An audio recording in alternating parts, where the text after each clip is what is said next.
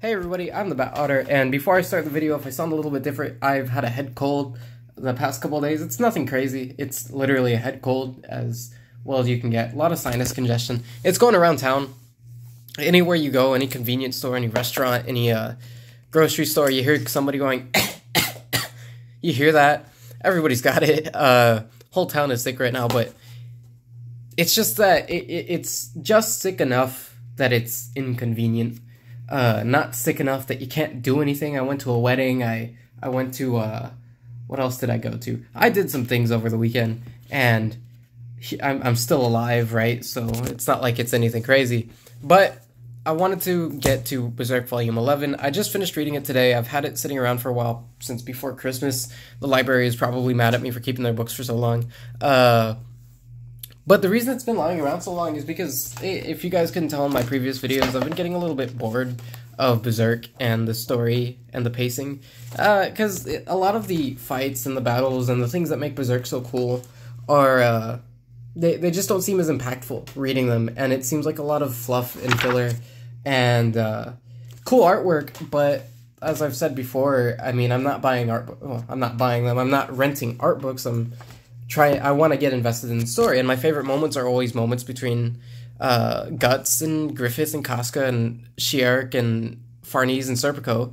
And it seems like a lot of those moments have gotten cheapened over the uh, long term serialization of the story. There's clearly a point and it's going somewhere, but it's going there extremely slowly, and I feel like it could skip over a lot of things. Unlike before, where every tiny little thing mattered and paid off to another scene. There are still those bigger payoffs, but the smaller ones don't seem as impactful as they used to. And that could just be from storytelling fatigue or what have you. Um, but whatever the case may be, that's my thoughts on it. So here we get to this big old dock battle, and this was really fun. Whenever I started reading it, it reminded me of the Hundred Swordsman fight, and obviously Guts is a little bit more withered because of his use of the Berserker armor. And what I do like, and what I still do appreciate about Miura, is that he does have that consistency in the injuries. Where if Guts is injured, it's not just like, oh man, I'm super injured and I'm about to die, and then the next chapter he's kicking butt. No problem. He the injuries do carry over and they do have consequences uh, to the story. So even though he could easily body all these guys, and it's not too big of an issue because of the way that the berserker armor has been wearing at his psyche, as you see here, and at his body, he can't manage as well. It is taxing on him in a way that it wouldn't have been before. So Schierke summons another uh, little super god. They try to move her out of the way, but she's burning. So Guts saves her, and Isidro.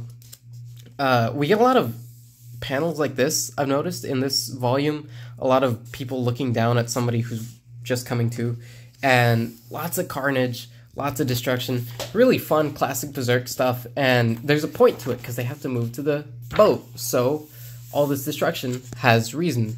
I like that. Uh, we get a fight with one of those whale things. Uh, I, to be honest, I'm skipping some of this stuff.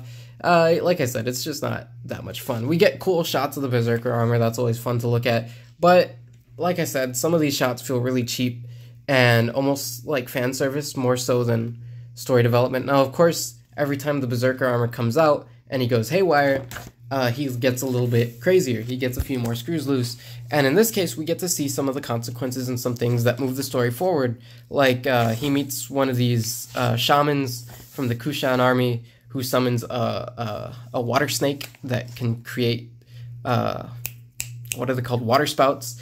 Uh, tries to stop Guts from going berserk. Uh, and in doing so, her, her astral body latches on to his, and she gets a glimpse into Guts's torn and crazy psyche. So we get a really cool fight between Guts and these water creatures because Guts usually cuts things, but you can't cut water. Uh, Serpico joins in the fun, and we get a really nice fight between Guts and this Kushan uh, shaman. The shaman is on equal footing, albeit he's using a Hindu god, so it might be a little unfair. We get really excellent views of ships and boats, and all around a very chaotic and entertaining scene that shows you the level that our characters have grown to in their combat capabilities and Miura's capabilities as an artist also growing. We get some cool twists of okay, you have to aim for this spot and do this. The practicality behind the magic. There's a lot of magic in media that gets lost in arbitrariness, arbit- arbitration, I'd say, uh, where it's magic to a fault and it doesn't have any rules, it doesn't have any standards. Uh, so it makes it very inconsistent. But in this case, every magical being has a weak point. It has this and it has that, and the characters have to figure out a way to exploit that. Uh, so as Guts and Serpico are kicking the shaman's butt, Ganishka gets word of it, and he gets a little bit upset. So what does he do? He strikes Guts with lightning. Shier gets blasted out of his psyche, and we get my favorite version of Guts, and that is him face first on the floor in more than excruciating and unbearable pain. I can't get enough of Guts like that. I really enjoyed this part of Guts getting absolutely blasted left and right, uh, only to barely be saved by the, the, the Dragon Slayer by using it as a literal lightning rod. So they have a little heart to heart. Guts realizes Ganishka is not with Griffith, even though he's a very big apostle. And Guts says, "Hey, you know, um, you're you're you're ugly. I don't like you, and uh, you stink." And Ganishka is like, "Hey, somebody." Uh, de- defies me. We get a nice cameo from Zodd, uh, who is coming in with the band of the Hawks initial forces um, to fight, and we get these breathtaking, breathtaking panels, post to post, cover to cover, in this book of things that Miura has not illustrated before, uh, and his his style changes is absolutely incredible. Uh, so Guts is obviously in a, a bad situation um, here, right? We get a flashback between Zodd and uh, the psychic girl, uh, Sonia, and she's like, "Oh," she gives him some vague prophecy, and he's like, "I guess that's what vague prophecies are meant for." So now we're here. The both of them are underwater. Guts gets on his back, and we get a little sitcom kind of. They need to team up.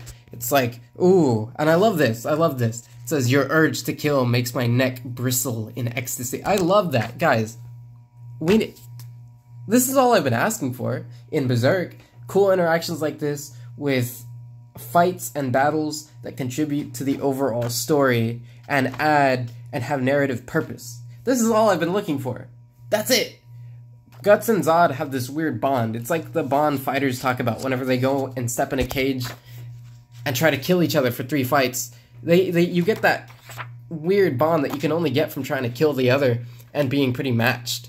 Uh, and we get a just very burned up, destroyed Guts. And Guts says, "Hey, listen, we can do this. Just help me out." We get some really cool panels uh, along the way. Uh, Zodd uh, kind of bodies some people. Guts is on the ground, and everybody wants to square up with Zodd. And Guts says, "Hey, you know, you're with Griffith, aren't you? And he says, well, what do you do? Because if that changes things, even if you're crippled, we just mince you into. And we get this ugly, evil, ominous shot of Zodd where he looks like this ugly creature about to tear into you. And this, this stare down between the two of them where Guts is as good as dead in this condition he's in.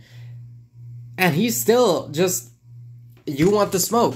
Serpico acts as a mediator. He says, "Hey, you're not concerned with a feud, uh, feud between monsters. That's what you said, right?"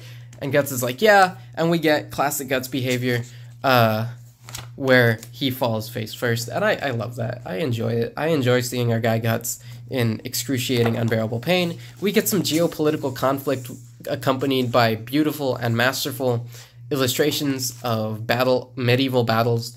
Um, but it's the Kushan, and I think Miura really, really wet the bed with the Kushan because he always, always would like, oh, look at the Kushan, finish it with a, a splash page of them, and he did that so much that it stopped being ominous and it stopped being foretelling, and it just became annoying because it was like George R. R. Martin's winter is coming. So Griffith shows up with his apostle army. Uh, absolutely bodies Ganishka, makes him look like a punk, uh, humiliates him in front of the whole squad. He read the Art of War and uh, wins the battle for the Midland Army. Uh, turns out he's engaged to Princess Charlotte. Big surprise. The nobles are like, hmm, that Griffith boy. No, I don't like him.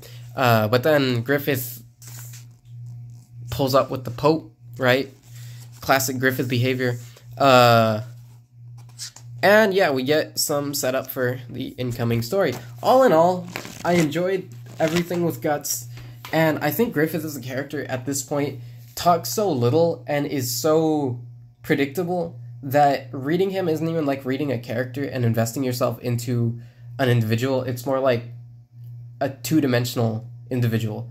It's like, oh, but look at all the past. It's like, I don't care about the past. The past is the past. The previous parts in the story are behind us. What is he like right now? And what he's like right now is a very two dimensional character with very little depth.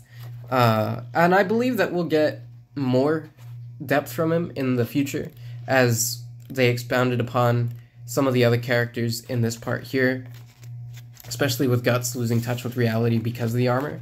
Uh, but other than that, I am looking forward to it. It's just uh, uh, slow reads and not as interesting uh, and not as gripping because some of the, like I said, they just don't have value. Even Ganishka always has the hand over his face, writhing in agony, and it, it has no value because it always happens throughout the story. It doesn't really change until it does, and when it does change, it's like, well, you could have just done that once. You see what I'm saying? So, all in all, it's not a bad story. It's just not great, so maybe the bar is too high. But that's my opinion as a reader. I hope you guys enjoyed the review. Let me know what you think. I'll be coming at you with many more reviews in the coming future, especially now that I'm recovering from the sick.